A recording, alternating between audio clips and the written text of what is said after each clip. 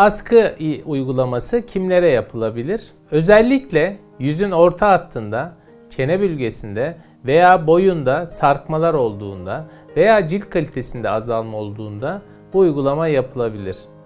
Ayrıca yine kaş kaldırma veya burun kaldırma amacıyla da eğer cerrahi bir uygulama zorunluluğu yoksa yapılabilmektedir. İp askı nedir? İp ile asma normalde ameliyatlarda kullanılan iplerin zamanla geliştirilerek kılçıklı ipler haline getirilmesi ve özellikle çift yönlü üretilmesinden sonra yapılan deri altına bir uygulamadır. Deri altına yapılan bu uygulama aynı zamanda deriyi çektiği gibi yumuşak dokuları da bir kısmen çekmektedir ve dolayısıyla sarkmayı ve kırışıklıkları ciddi oranda toparlamaktadır.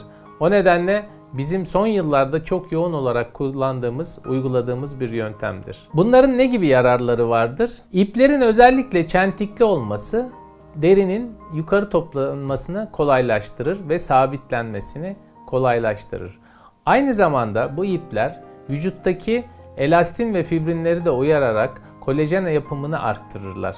Dolayısıyla cilt kalitesinde de ciddi bir düzelme olur. Yani ipin yaptığı yapısal bir destek yanında aynı zamanda ciltte rejuvenasyonda yani yenilenme de gerçekleşmiş olur. Herhangi bir zararı var mıdır bu iplerin? Hayır şu ana kadar herhangi bir zararı görünmemiştir. Sadece uygulamada usta ellerin yapması gerekir. Bu ipler biyoçözünürdür. Genellikle bizim kullandıklarımız. Tabii ki kalıcı ipler de vardır. Kalıcı ipler bile en fazla 5 yıl kalabilmektedir. Yani herhangi bir vücuda bir zarar vermeden oradaki etkisini devam ettirebilir. Ama daha çok herhangi bir aşırı reaksiyon görünmemesi açısından biyoçözünür ipleri tercih ediyoruz. Eğitim almış hekim tarafından doğru bölgeye doğru ipi planlanır ve uygulamaya başlanır. İp askı ile kombine uygulamalar yapılır mı peki? Yapılabilir. Özellikle ayrı veya aynı seanslarda olmak üzere mezoterapi ile ve dolgu ile kombinasyon yapılabilir.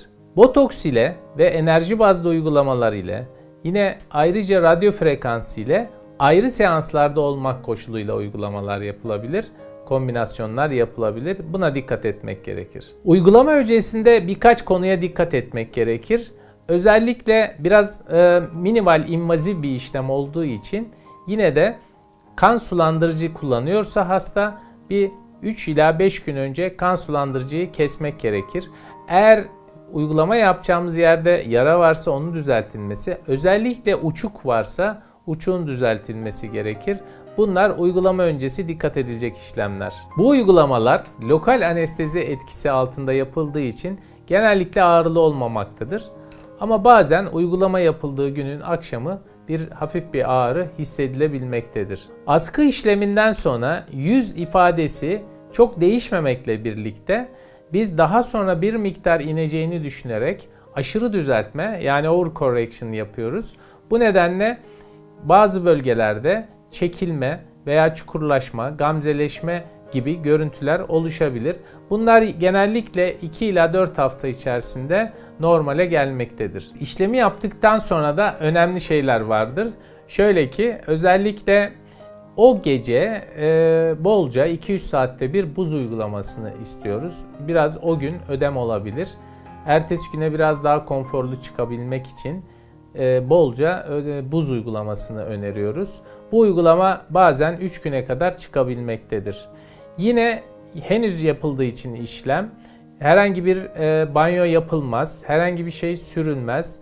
Çok sıcaktan kaçınmak gerekir. Özellikle ilk 3 gün sıcaktan ciddi oranda kaçınmak gerekir. Yine ilk 3 gün, 3 ila 5 gün e, sırt üstü yatmayı öneriyoruz. Hatta gerekirse boyunluk kullanmasını öneriyoruz.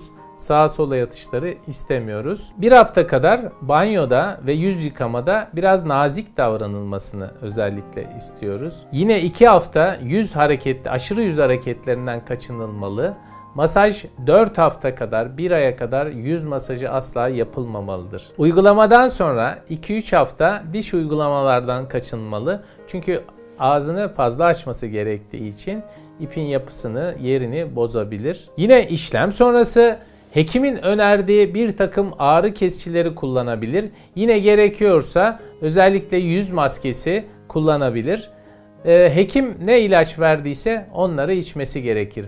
Bazen gerekmiyor, bazen gerekebiliyor. O anki uygulamanın durumuna göre değişebilmektedir. İstenmeyen etkiler oluşabilir mi? Ee, tabii ki her uygulamada olduğu gibi bunda da oluşabilir. Ama deneyimli bir hekim bunun üstesinden gelebilir. Özellikle e, ilk günlerdeki istenmeyen etkiler bazen beklediğimiz etkilerdir. Ama beklemediğimiz bazı ufak tefek etkiler olabilir. Bunların çözümü de gayet basittir. Hemen önlem alınabilir. Evet yaptığımız bölgeleri söylemiştik ama bir kez daha tekrarlayalım. Özellikle orta yüz bölgesini düzeltmek için, çeneyi düzeltmek için, boynu düzeltmek için yaparız. Yine kaş kaldırmak veya burun kaldırma amaçlı yapabiliriz. Bir de hekimin eğer deneyimi varsa genital bölgelerde yine karında, vücudun değişik yerlerinde uygulama yapabilir. Yine son olarak hastalık yoktur, hasta vardır diyoruz. Her hasta kendine özeldir diyoruz ve mutlaka kendi hekiminizin önerilerini dikkate almanızı öneriyoruz. Sorularınız için her zaman benimle iletişime geçebilirsiniz. Sağlıklı ve güzel kalın, hoşçakalın.